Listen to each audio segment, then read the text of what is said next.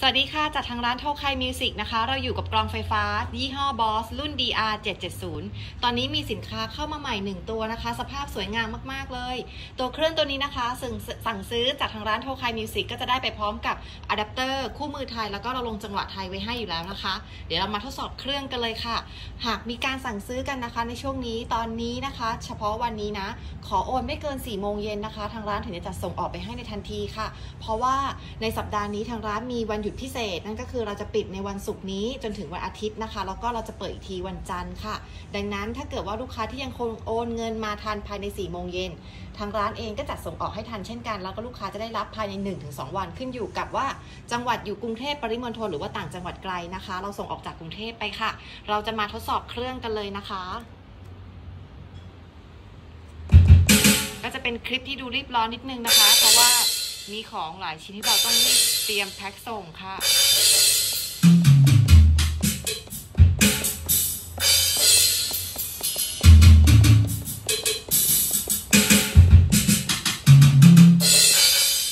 จังหวะอันนี้เป็นจังหวะค่าของเครื่องค่ะ เป็นจังหวะค่าโรงงาน เพราะจังหวะที่ทางร้านยิงไปให้เนี่ย มันจะเริ่มตั้งแต่เบอร์ 401 หรือ 401 เป็นต้นไปค่ะ จังหวะที่เป็นค่าโรงงานจะเริ่มที่เบอร์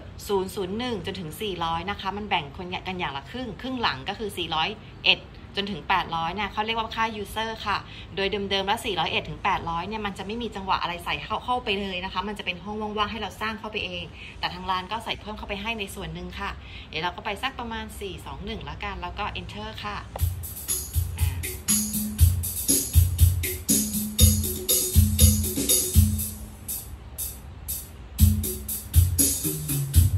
เราสามารถที่จะกด fill in หรือการเรียกว่าลูกส่ง ได้จากการกดที่ตัวแป้นก็ได้นะคะ มีแป้น forward คือ fill เป็นรูปแบบไปข้างหน้า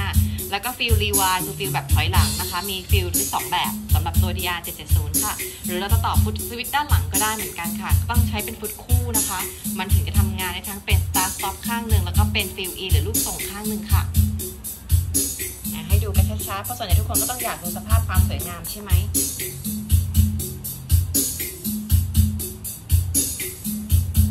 หมุน value เปลี่ยนค่านี้ก็ได้ค่ะ